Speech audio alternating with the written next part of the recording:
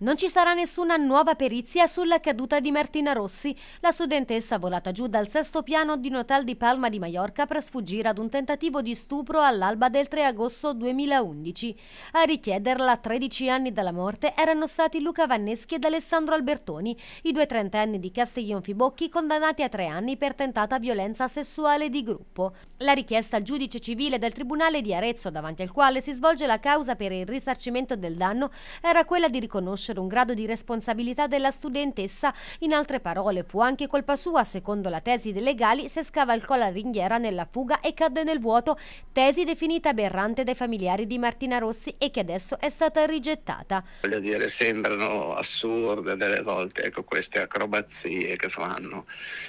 diciamo così, per, per, togliersi delle responsabilità che oramai ecco, mi sembrano definite, certe e, e chiare. Ecco. Ora io capisco che magari arrivare alla fine quando si fanno i conti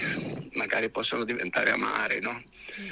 E la vita delle persone ecco, ne può rimanere segnata, ecco, ma tanto come noi ecco, non, non, ne è rimasto sicuramente segnato nessuno. Albertoni e Vanneschi attualmente si trovano in carcere per scontare la pena in regime di semilibertà. La famiglia di Martina Rossi ha chiesto un milione di euro di risarcimento da destinare alla lotta contro la violenza sulle donne. In nome della giovane è nata anche un'associazione lanciata da Bruno Rossi e Franca Murialdo, intitolata alla studentessa anche una borsa di studio di stare dalla parte dei più deboli, di quelli che soffrono, che poi sono quelli che soffrono sempre di più,